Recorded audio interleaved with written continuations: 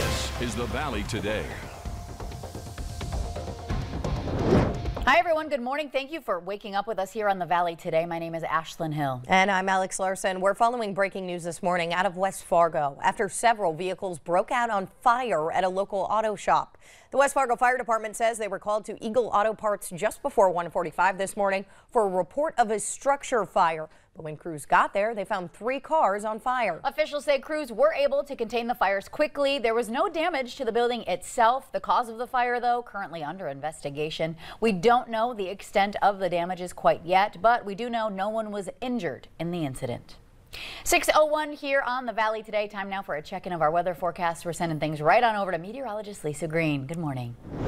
Good morning. Uh, today we have some flakes out there and even some drizzle on the way for later today and some wind as well. So some things to track out for you. Uh, morning drive, expect to have pretty good conditions. We're giving it a one out of five for tough travel. It shouldn't be much of a problem at all, but there is that possibility for a passing flake or a sprinkle here this morning. Temperatures looking pretty good into the 30s and the wind isn't that strong yet. So most of us seeing some quiet conditions, excuse me.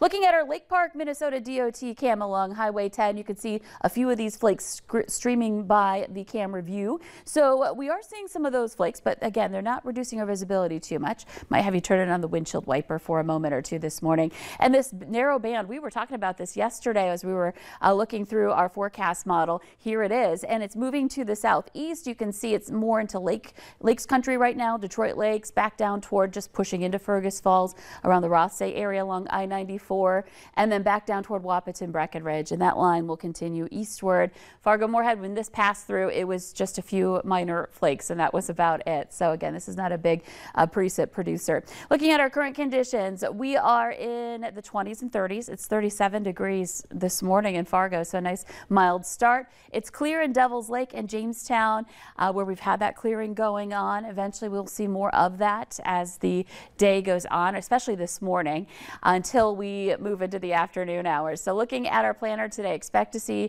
a decrease in clouds for Fargo. We'll get some sunshine into midday and then mostly cloudy and the wind starts to pick up. We'll have temperatures in the upper 40s to right around 50 this afternoon for Fargo. A little cooler north. And here's a look at our wind gusts out of the north and getting into some 30s by midday and into the afternoon. A couple of us could see 40 miles per hour. So a little active here, no big things going on, but the wind we'll have to keep an eye on.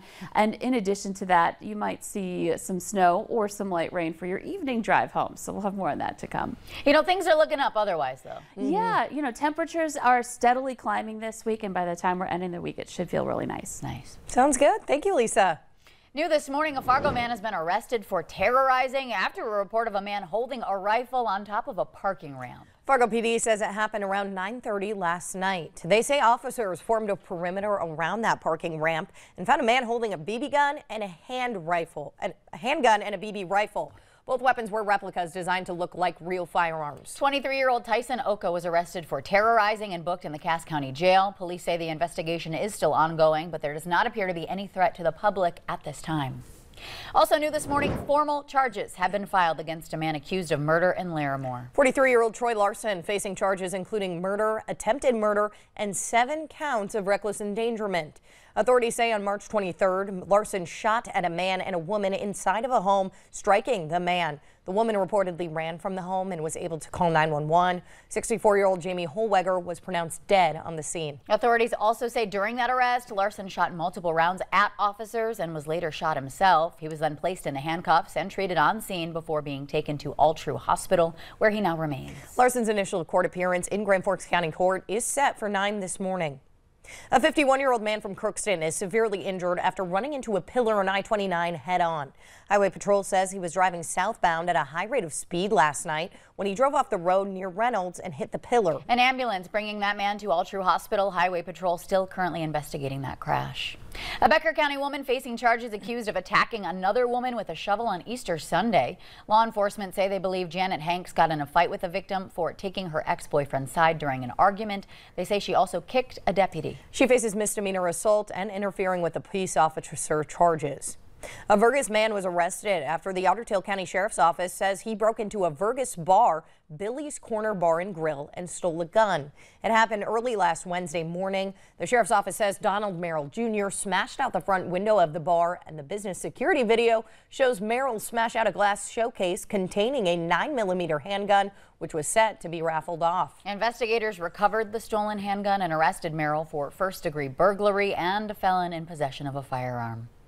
Murder charges filed yesterday against 28 year old Michael Diedrich. His charges come after the death of 22 year old Ethan Larson, who was victim of a deadly stabbing last week outside of a popular South Fargo bar.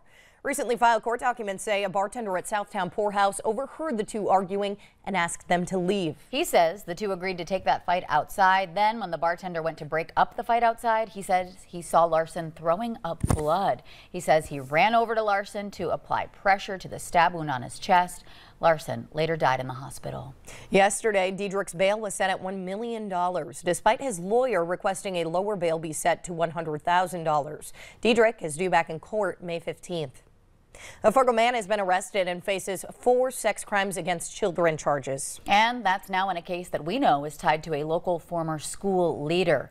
Aaron Doss is charged in Cass County Court with two counts of promoting a sexual performance by a minor and two counts of child pornography.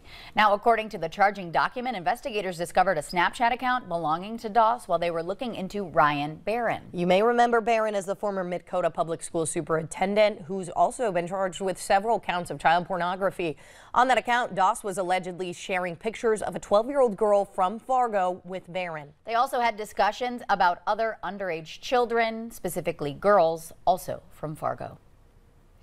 Gasps and cries filling a Wisconsin courtroom yesterday as prosecutors showed cell phone video of a deadly stabbing of a teenager. Nicolae Miu is accused of killing a teenager and stabbing four others on the Apple River in July of 2022. He says it was in self-defense, but Jonah Kaplan has more on the developments from inside that courtroom.